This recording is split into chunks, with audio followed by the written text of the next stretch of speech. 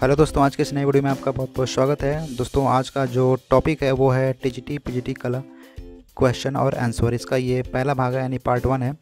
और यहाँ पे मैंने 20 महत्वपूर्ण क्वेश्चन को लिया है, जो विभिन्न परीक्षाओं में पूछे जा चुके हैं। तो आप भी जो है, एक कॉपी पेन लेके बैठ जाइए और साथ ही आप भी सॉल्व करिएगा। और बाद में कैलकुलेशन करिए कि आपका जो है क्वेश्चन कितना सही होता है। तो चलिए पहला क्वेश्चन देख लेते हैं।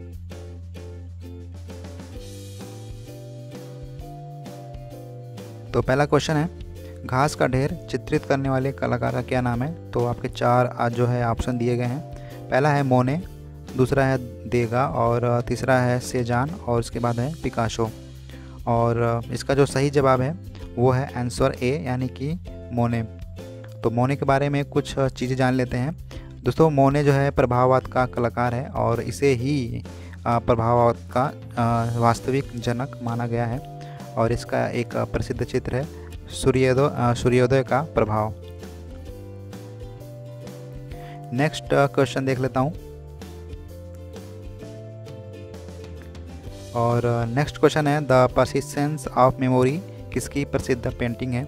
आपके ऑप्शन है चार यहाँ पे दिए गए हैं Kandinsky Salvador Dali mark insert या फिर जैक्सन पोलक तो इन चारों में से जो सही जवाब है, वो है आपका सलवाडोर डॉली और इसके बारे में जान लेते हैं। इसे, यह जो है, अति यथार्थवाद का चित्रकार है।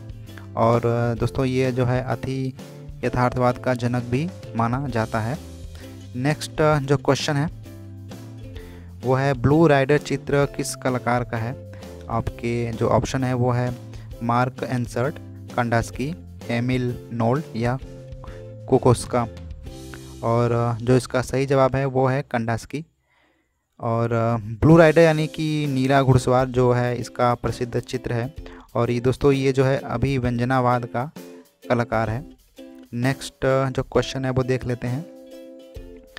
उत्कीर्णन कार्य किसके द्वारा संपादित होता है? और आपके जो ऑप्शन है, वास्तुकार द्वारा या मूर्तिकार, या संगीतकार या चित्रकार? और जो इसका सही आंसर है, मूर्तिकार द्वारा। नेक्स्ट देख लेते हैं यहाँ पे ग्वास रंगों की प्रकृति कैसी होती है, आपके जो ऑप्शन है। पारदर्शी होती है, अपारदर्शी होती है, अल्प पारदर्शी होती है, और या फिर जो है इनमें से कोई नहीं। और जो सही जवाब है, वो है आपका बी यानी कि अपारदर्शी। एक प्रसिद्ध पेंटिंग है the bath the bath painting किसने चित्रित किया है? आपके जो ऑप्शन है यहाँ पे, माने वान गॉग डेविड या फिर पॉल सेजान और जो सही आंसर है वो पॉल सेजान है। और पॉल सेजान जो है उत्तर प्रभाववादी कलाकार है और इसे उत्तर प्रभाववाद का जनक माना जाता है और साथ ही इसे आधुनिक कला शैली का जन्मदाता भी कहा जाता है। तो नेक्स्ट जो क्वेश्चन है क्वेश्चन नंबर सेवन देख लेते हैं विकास। भट्टाचार्य ने किस वाद में चित्रण कार्य किया है तो घनवाद में, अभिव्यंजनावाद में, अति यथार्थवाद में या फिर इनमें से कोई नहीं। तो इसका जो सही जवाब है वो है अति यथार्थवाद यानी कि सी। और विकास भट्टाचार्य अपनी अति यथार्थवादी जो शैली में चित्रों के लिए प्रसिद्ध हैं। और इन्होंने एक श्रृंखला पे भी काम किया था, गुड़िया श्रृंखला, जो काफ़ी इनकी प्रसिद्ध श्रृंखला है। नेक्स्ट क्वेश्चन देख लेते हैं। प्रथम धातु जो निर्मित नर्तकी की मूर्ति कहाँ से प्राप्त हुई है? आपके ऑप्शन है बेलारी मोहनजोदड़ो हड़प्पा या रायगढ़ से।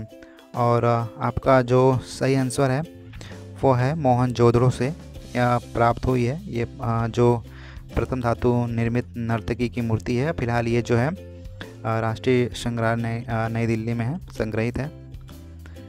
नेक्स्ट जो क्वेश्चन है प्रोग्रेसिव आर्टिस्ट ग्रुप यानी कि पैग का वो कौन सा कलाकार है जो ईसा मसीह पर बनाए गए चित्रों के लिए प्रसिद्ध है?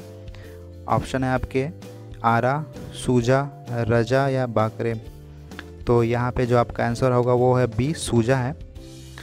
और सूजा जो है ईसा मसीह पे चित्र इन जो है इन्होंने बनाए हैं। और आपको बता दें कि पैक की जो स्थापना है उन्नीस सौ सैंतालीस में हुई थी। और इन्हें ही संस्थापक के रूप में यानी कि सूजा को ही संस्थापक के रूप में जाना जाता है। नेक्स्ट जो क्वेश्चन है इन प्रोग्रेसिव आर्टिस्ट ग्रुप यानी पैक वो कौन सा चित्रकार है जो पेरिस में जाकर बस गया था?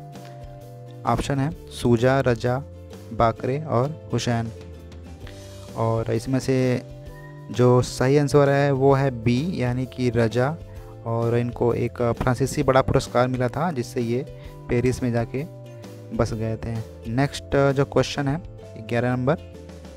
वो देख लेते हैं। मोहन जोदड़ो से जो प्राप्त नर्तकी है, वो किससे बनी है? पीतल से, तांबा से, कांसे से या टीन से? तो इसका जो सही जवाब है वो है यहाँ पे सी है, कांसे से बनी है। एक जो नेक्स्ट क्वेश्चन है, वर्ष उन्नीस सौ छप्पन भारत के लिए महत्वपूर्ण क्यों है? और आपके ऑप्शन है, बंगाल शैली की स्थापना हुई थी इसलिए महत्वपूर्ण है या फिर प्रथम प्रथम कला प्रदर्शनी आयोजित की गई, या फिर भारत में समकालीन छापा चित्रण का आगमन हुआ, या फिर इस डेट को कला दिवस मनाना शुरू किया गया। और चूँकि ये दोस्तों बता दूँ कि ये यू जी नेट का क्वेश्चन है, मैंने इसको शामिल किया है, और इसका जो सही आंसर है, वो है आंसर सी यानी कि भारत में समकालीन छापा चित्रण का आगमन हुआ था, और लगभग ये 2015 के आसपास 2015 में ही पूछा गया था। ये क्वेश्चन आया था यूजीसी नेट का। नेक्स्ट देख लेते हैं। तेरह नंबर क्वेश्चन है, कृष्णा रेड्डी कहाँ से संबंधित है? दिल्ली से, मुंबई, चेन्नई, हैदराबाद। और आपके जो सही आंसर है आपका, यहाँ पे डी है, हैदराबाद। और इनके बारे में बता दें कि कृष्णा रेड्डी जो है, एक भारतीय प्रिंट मेकर थे, मूर्तिकार थे। और अभी 2018 में इनकी मृत्यु हुई थी 22 अगस्त 2018 को। और जन्म जो है 15 जुलाई उन्नीस सौ पच्चीस को हुआ था। तो हाल ही में इनकी जो है डेथ हुई थी। नेक्स्ट जो क्वेश्चन है प्रयाग झा चिल्लर किसके लिए जाने जाते हैं? और मूर्तिकला है ऑप्शन ए में और दूसरा है चित्रकारी तीसरा है छापा चित्रण या फिर इंस्टॉलेशन तो यहाँ पे जो ऑप्शन आप, आपका सही है वो है सी छापा चित्रण के लिए। और प्रयाग झा जो है भारतीय समकालीन चित्रकार हैं जो कि छापा चित्रण के लिए जाने जाते हैं। नेक्स्ट जो है क्वेश्चन पंद्रहवा नंबर देख लेते हैं। गुप्तकालीन देवगढ़ का मंदिर किसे समर्पित है? आपके ऑप्शन है शिव को, विष्णु या दुर्गा या बुद्ध। बुद्ध यहाँ पे थोड़ा सा मिस्टेक हो गया तो ये बुद्ध है। तो आपके जो इसमें से जो सही आंसर है, वो है विष्णु को समर्पित है गुप्तकालीन देवगढ़ का मंदिर। और ये कहाँ पर है? ये मंदिर जो है उत्तर प्रदेश के ललितपुर ज़िले में है। और नेक्स्ट जो क्वेश्चन है, नंदलाल बोस का जो चित्र है, दांडी यात्रा किस माध्यम में बना है? लीनो कट माध्यम में बना है या फिर वुड कट या सिल्क स्क्रीन माध्यम में या फिर कोई नहीं इनमें से? तो जो आपका सही जवाब है, वो है लिनो कट। और चलिए फिर नेक्स्ट क्वेश्चन देख लेते हैं यहाँ पे। ग्रुप 1890 की स्थापना यहाँ पे किसने की थी?